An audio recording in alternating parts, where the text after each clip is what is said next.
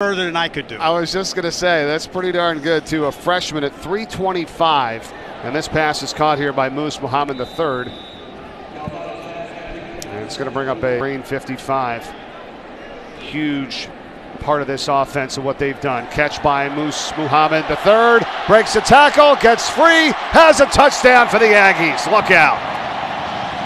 Saw the offensive line, offensive line, top of the screen. Calzada, third and goal. He's got plenty of time. Steps up in the pocket, guns it. The catch is made, and it's Moose Muhammad III, and he is close to the goal line, but he's going to be just shot. Calzada backpedaling with pressure in his face, airs it out for Moose Muhammad III. He's got it. Oh, what a catch!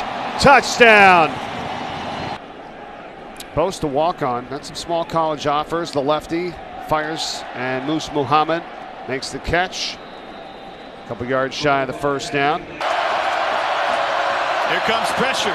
Calzada fires, caught, touchdown A&M. They beat the pressure to Moose Muhammad. On second and long to the slant, incomplete. And that'll leave third and 15. Muhammad, the intended receiver. LSU rushes three. Calzada wide open. A first down for Moose Muhammad. And he squirts up to the 16 yard line. Look from LSU. Here they come. Calzada buys time, fires in zone, overshot.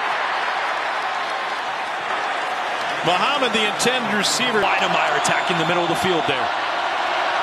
They're going. Calzada on a drag route is able to go underneath. Once again.